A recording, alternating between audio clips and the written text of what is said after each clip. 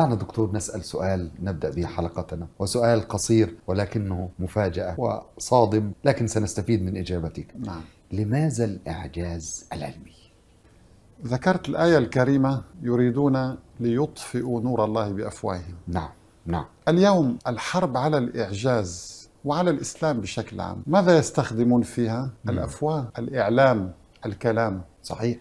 فهي حرب كلامية فقط مواقع كلام. التواصل والفضائيات وال- وغير ذلك. طيب النبي عليه الصلاة والسلام كيف يتنبأ بأنه سيأتي زمن تشتعل فيه حرب على الإسلام بالأفواه فقط؟ سبحان الله. يريدون أن يطفئوا نور الله بأفواههم ويأبى ويأبى الله إلا أن يتم نوره ولو كره الكافرون. هذه الآية الكريمة تنبئك أيها المؤمن لا تحزن فهذه الحرب مستمرة حتى يرث الله الأرض ومن عليها. وسوف وسوف تفشل الله أكبر نحن الآن حسب مركز بيو ريسيرش الأمريكي الشهير جدا والموقع الإحصائي رقم واحد الموثوق بالنسبة للعلماء. والباحثين نعم. نعم. يقول بالحرف الواحد في آخر إحصائية العام الماضي 2017 نعم الإسلام هو أسرع الأديان انتشارا على الإطلاق. الحمد لله رب العالمين. حقيقة علمية جميل. نسبة انتشار الإسلام تصل أحيانا في بعض الدول مثل أستراليا إلى 400% يا الله. وفي كندا أكثر من 200% وفي أمريكا أيضا نسبة عالية في أوروبا في فرنسا. ففي عام 2050 ستصبح أوروبا قارة إسلامية. يستطيع أن يرى. الجداول والمخططات. والإحصائيات بيانيا أو رقميا أمام هذه العظمة للإسلام. الذين درسوا الإسلام في الخارج وأسلموا. هل عبثا؟ أليس لديهم عقول علمية؟ هل ينتشر الإسلام بالسيف الآن بينهم؟ أبداً. أبدا. من الذي يقنعهم؟ العلم. لأن ال- الإسلام تعاليم الإسلام قوتها في ذاتها هي قوية بذاتها لا تحتاج لمن يدافع عن الإسلام. سبحان الله. مجرد أنك تتحدث بتعاليم الإسلام سوف تجد من يكره هذا الإسلام يحاربك مباشرة. ليس لشخصك ولكن للتعاليم التي تحملها. لماذا؟ لأن الإسلام يأمر بالطهارة مثلا يعني. الإسلام يأمر بالعفاف. جميل. الابتعاد عن الشذوذ عن الزنا. الإسلام يجبرك أن تبر أبويك حتى ولو جاهداك أن تشرك بالله. قال وصاحبهما في الدنيا معروفة. عظيم عظيم حتى وهو عظيم. يجاهدك صاحبهما. عظيم. تصور هذه القيمة العالية.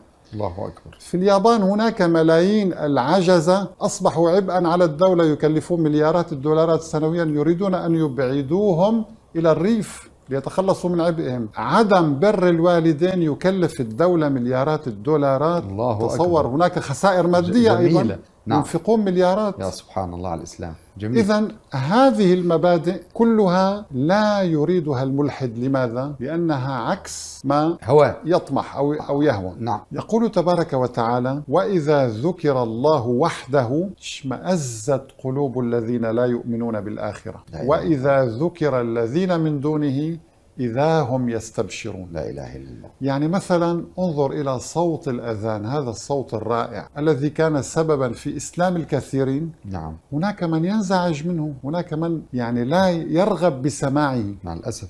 يشمئز قلبه. لذلك سبحان الله في كلمات الأذان هناك إعجاز يسحر القلوب. الله أكبر. يعني شوقتنا يعني تصور أنا أريد أن أخاطب الملحدين الذين يدعون أن النبي هو الذي اخترع الإسلام فقط بمعجزة الأذان. هذا الأذان من أين جاء به النبي؟ طبعا هو وحي من الله سبحانه وتعالى. نعم. الأذان فيه إعجاز عددي يتناسب مع معنى الكلمات الموجودة في هذا النص الرائع. إعجاز عددي في الأذان. نعم. نحن نؤذن أو المؤذن يؤذن في اليوم خمس مرات صح؟ صحيح. ونقيم الصلوات خمس صلوات. خمس صلوات. نعم. والصلاة طبعا فرضت ليلة الإسراء والمعراج نعم. لعظمها.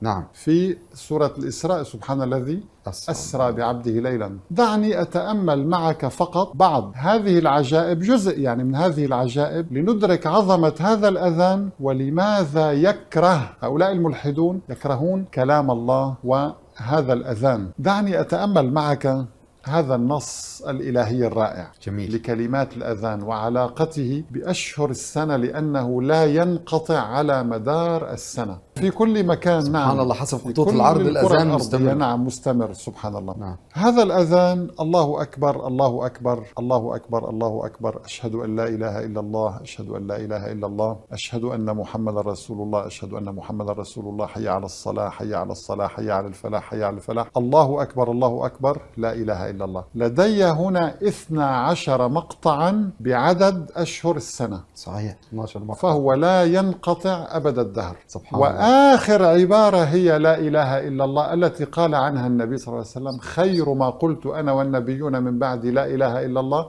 ختم بإثنى عشر حرفا. لا إله إلا الله تتألف من إثنى عشر حرفا. جميل جميل. ومحمد رسول الله تتألف من إثنى عشر حرفا. شو توازن. الرائع ده ما شاء سبحان الله, الله. وكلمة شهر ذكرت في القرآن منفردة 12 مرة أيضا بعدد أشهر السنة. سبحان هذا الله. التناغم. سبحان الله. إذا أنا لدي أولا بناء هندسي يتعلق بأشهر السنة ولكن هذا البناء لابد أن يتعلق بعدد الركعات والصلوات صحيح ومضاعفة الأجر لنرى؟ اللوحة التالية لنكتشف هذه العجائب سبحان الله العلي. وهذه ال- ال- الغرائب التي يعني الأذان يتألف من خمسين كلمة جميل الأذان يرفع كم مرة؟ خمس مرات والحسنة بكم؟ بعشر أمثالها في إذا القرآن خمسة مضروب في عشرة يساوي خمسين فهو خمسين كلمة النبي صلى الله عليه. وسلم عندما خاطبه الله سبحانه وتعالى قال له هي خمس وهي وهي خمسون. خمس صلوات وخمسون ولكن في الأجر خمسون. لذلك جاء هذا الأذان مضاعفا عشر أضعاف أوقات الصلاة خمسين كلمة ليقول لك إن الحسنة من جاء بالحسنة فله عشر أمثالها. أمثالها.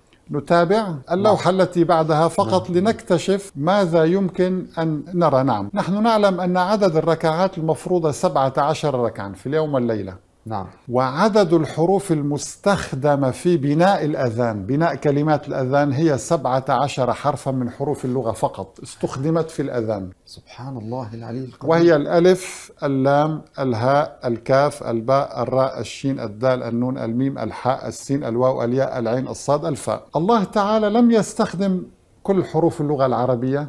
استخدم عددا من حروف اللغة يساوي عدد الركعات المفروضة ليركب منه هذا الأذان الذي هو نداء للصلاة بعد هذا الكلام يا دكتور نقف نعم. متعجبين منبهرين لا يمكن هذا النظم حروفا وكلمات والأذان ليس صورة من صور القرآن الأذان هو ما, ما, ما. أراده الله تبارك نعم. وتعالى نداء للمسلم حتى يرى إلى الصلاة إذا نحن رأينا أن الله تعالى عندما بنى هذا الأذان بناه بطريقة هندسية تتناسب مع الهدف منه جميل. ومع معاني كلماته.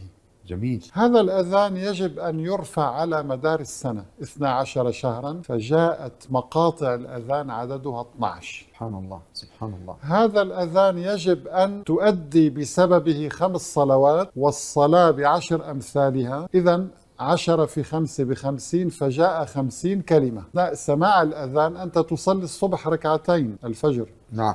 وأربعة الظهر. الظهر وأربعة ال- العصر. العصر عشرة. والمغرب ثلاثة. والعشاء أربعة المجموع سبعة عشر ركعة. هذا الأذان الله سبحانه وتعالى اختار من حروف اللغة العربية سبعة عشر حرفا ليبني هذا الكلام الرائع.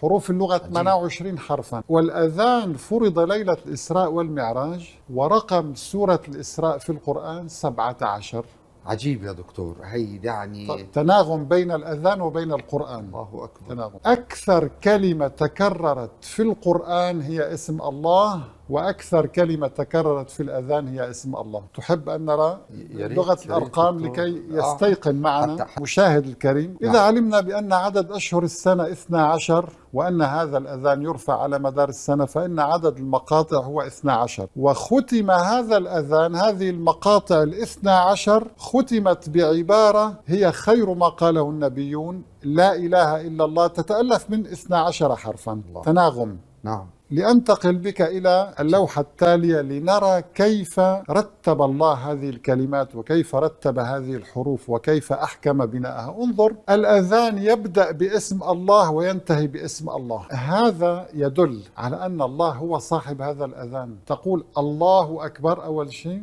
أول شيء الله. آخر شيء لا إله إلا الله. تبدأ بألله وتنتهي بألله سبحانه. وتعالى. لذلك يعني دعني أتابع معك وأتأمل هذه الروائع فعلا يعني. الإنسان الذي له عقل ينبغي أن يتأمل. أكثر كلمة تكررت في الأذان هي اسم الله أحد عشر مرة. انظر واحد وواحد. الله. العدد أحد عشر هو العدد الوحيد الأولي الذي يتألف من واحد لواحد. واحد وواحد.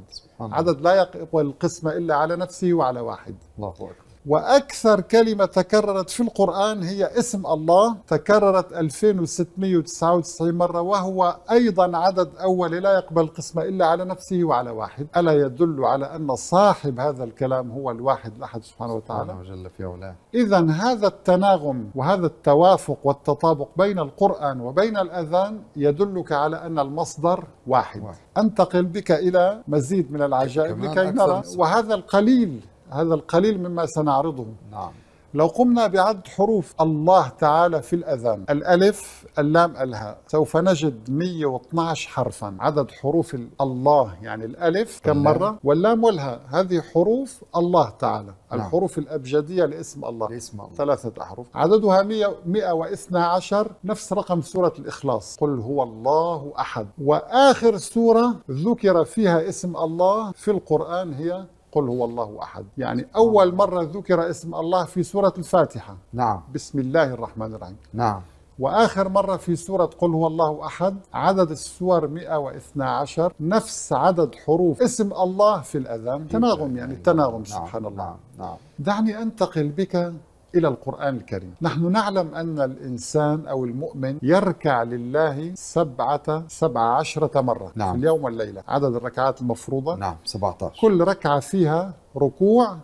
وسجودين. سجودين. نعم. إذا كم مرة تركع لله في اليوم؟ 17 17 وتسجد وتسجد 34 34 هذه حقيقة دينية معروفة. يطبقها. نعم. طيب في القرآن الكريم وردت كلمة اركعوا كثيرا صح. واسجدوا كثيرا ولكن اركعوا واسجدوا مرة واحدة فقط في أواخر سورة الحج. يقول تبارك وتعالى يا أيها الذين آمنوا اركعوا واسجدوا واعبدوا ربكم وافعلوا الخير لعلكم تفلحون. إذا الآية الوحيدة التي جمع فيها بين الركوع والسجود اركعوا واسجدوا بهذه الصيغة طبعا. هناك صيغ أخرى في القرآن ولكن كأمر للمؤمنين اركعوا واسجدوا وردت في هذا الموضع. طيب أنا لو أردت كمهندس أن أضع هذه الآية في موضع يتعلق بعدد الركعات وعدد السجدات ماذا أفعل؟ يجب أن أن أختار موقع مناسب نعم أين وضع الله هذه الآية؟ وضعها في الجزء 17 الحزب 34 أنا أنا ما ترتيب لا تعلم ترتيب لا إلهي سبحان الله. ال- لا سبحان أقم الصلاة تكررت في القرآن. نحن كم مرة نقيم الصلاة؟ في اليوم خمس والليلة؟ مرات. خمس مرات. آه خمس مرات. الأمر الإلهي أقم الصلاة. ذكر في القرآن خمس مرات بالضبط فقط بعدد الصلوات الخمس. أقيموا الصلاة اثنا عشر مرة بعدد أشهر السنة. أقيموا بالجمع الله. لأن لأن الأذان يقام في كل الكرة الأرضية. خمسة زائد 12 يساوي 17 هو عدد الركعات المفروضة. فإذا أنت هنا لست أمام كتاب عادي ولا كتاب معجز هو ما فوق الإعجاز. هو ما فوق من. يعترض على كلمة إعجاز نقول له إن هذا القرآن لو كان هناك كلمة ما فوق الإعجاز لاستخدمناها ولكن هذه حدود اللغة جزاك الله على هذا الفتح كل خير بارك الله دكتورنا. الغالي